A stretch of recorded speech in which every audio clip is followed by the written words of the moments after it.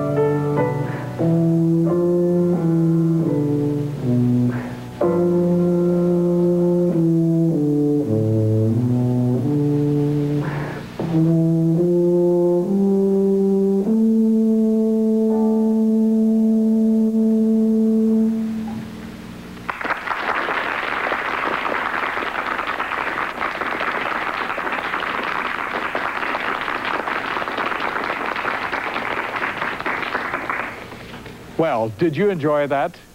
I'm sure you have many questions about the tuba or the music, or about the musician, Jay Hunsberger. Come right up to the microphone now and let's have a conversation. How many different kinds of tubas are there? Well, uh, this tuba that I just played is in F, and there are larger tubas which are in B flat and C, and then you have the sousaphones that you see on the marching band field, and then in a few minutes you'll get to hear the euphonium, which is even smaller, and really all the brass instruments are just extensions of the tuba family. Who invented the tuba? Well, the tuba evolved out of earlier instruments, and uh, it, we couldn't have this tuba until they invented the valve, which occurred around 1812 and in the early part of the 1800s. And uh, it evolved out of the ophicleide and earlier instruments like that. Is the tuba hard to learn to play? Uh, no, it's very easy to learn to play. Its sound is so beautiful that uh, you really learn to play it and you like it a lot and it's a lot of fun. So when something's fun, it's not, not hard to do. Is the tuba very heavy? Well, it's not too heavy at all because actually all these tubes that you see are hollow, so it looks a lot heavier than it is. Why don't you come here and, and pick it up yourself and see how heavy it is. It's not too bad. No. It's not bad at all. Thanks.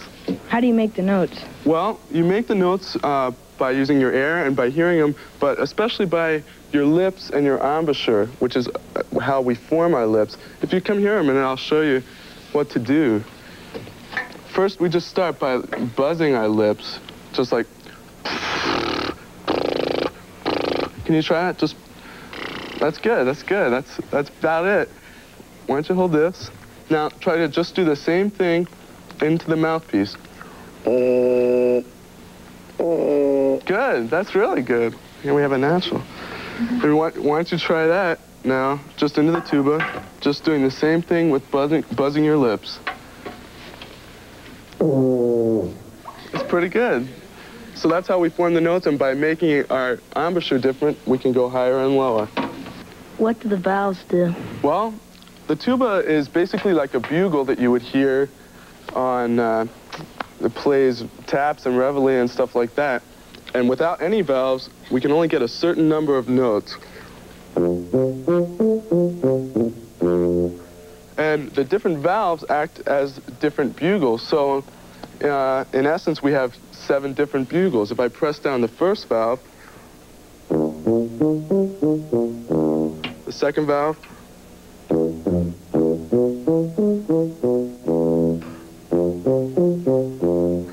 and different combinations of the valves make different uh, pitches that we can go up and down on. How many different notes does the tuba have? Well, uh, that's a, that's a tough one. Uh, it can start very low, like off the range of the piano, and depending on the size of the mouthpiece and just your your own uh, lip composure, uh, you can play as high as you'd like to play. There's some players that can really screech out notes way at the top of the piano keyboard. So we have the widest range of any brass instrument. Thank you, students. Those were wonderful questions. Now, let's see if we can understand why we enjoy playing these instruments so very much. Well, they can perform all kinds of music. They can dance and play with melodies, and they can be very serious and beautiful as they sing their hearts out. Let's listen now to freshman euphonium soloist Ran Whittle as he and Ruth Morrow perform a part of Alexander Arutunian's concerto. The section opens with a very playful and exciting sort of tune and closes with a somber and haunting melody.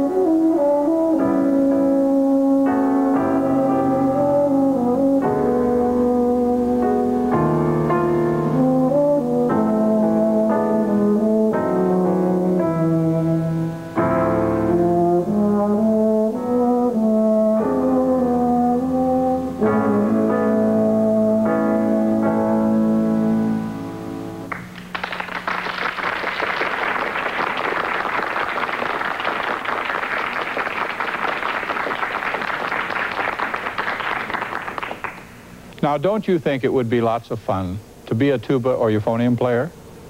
Well, maybe someday some of you will play these beautiful brass instruments. But perhaps you are also wondering, what does an ensemble of these instruments sound like? Well, we're going to let you hear the tuba and euphonium ensemble perform a composition written some 400 years ago by the Italian composer Giovanni Gabrieli. A piece to be played especially in St. Mark's Cathedral in Venice. Listen and imagine yourself in that great cathedral as we perform Gabrieli's Canzona per Sonare number four.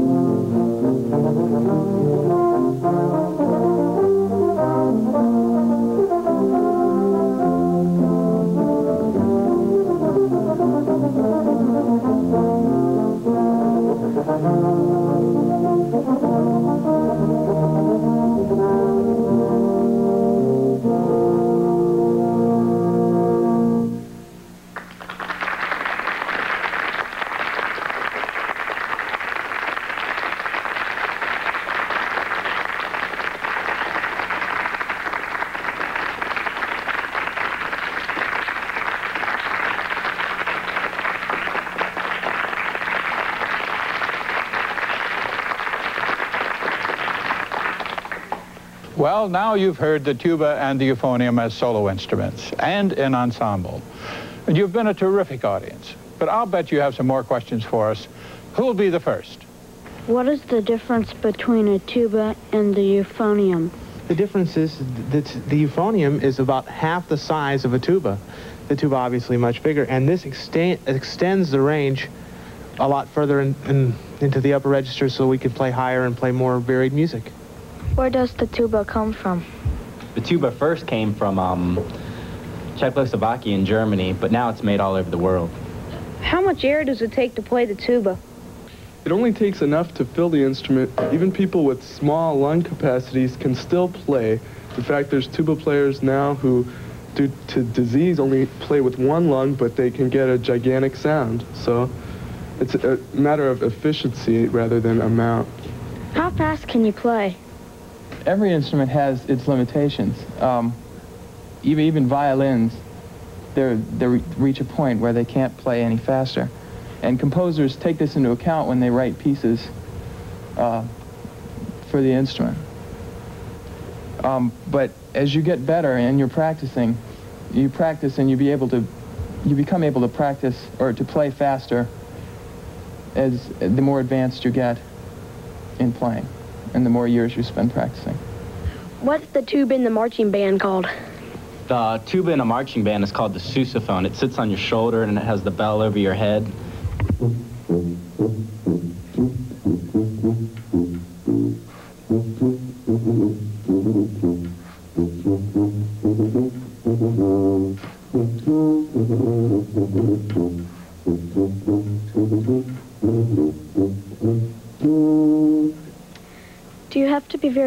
Strong to play a tuba?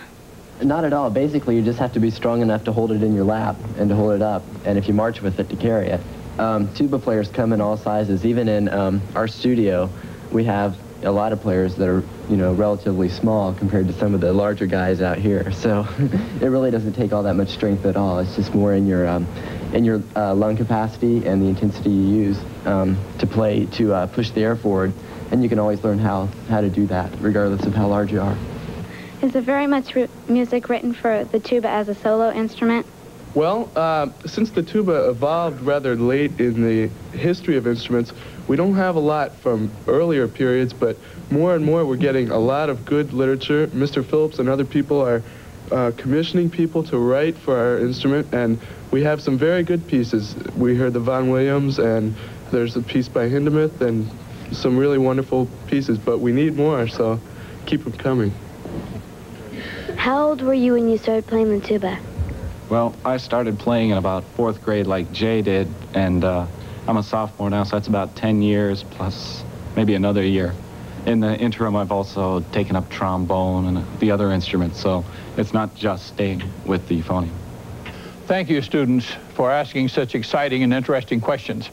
I hope we've given you some answers and some things to think about, and that you will tell others about our musical encounter here today with the tuba and euphonium. To show our appreciation, we would like to share with you now our special tribute to one of America's truly great composers. He made many people happy with his music, and I think you will see why as we salute Duke Ellington.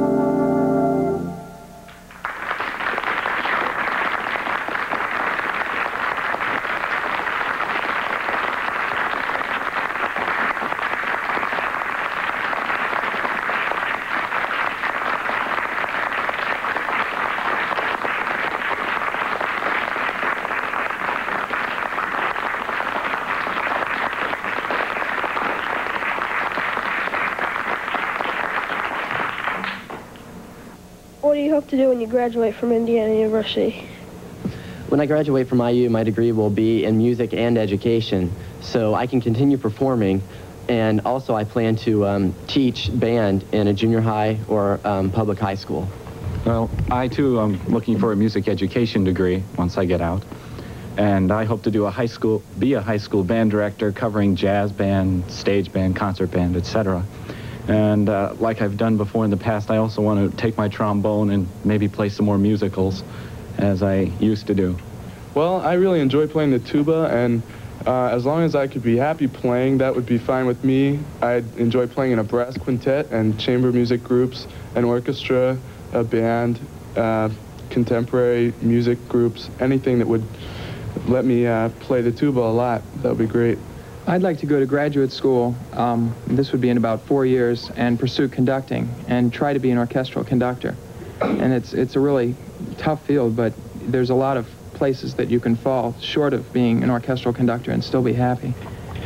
Um, important thing is just to be happy with what you're doing. I'd like to keep playing uh, the euphonium and try to improve the amount of literature that there is for euphonium and orchestra. The Indiana University Tuba Ensemble joins me in thanking all of you for being such a wonderful audience. And now to close our musical encounter, we want to perform the El Capitan March by the one and only John Philip Sousa, who gave his name to the sousaphone, a proud member of the tuba and euphonium family. We hope we can get together again real soon. And now, El Capitan.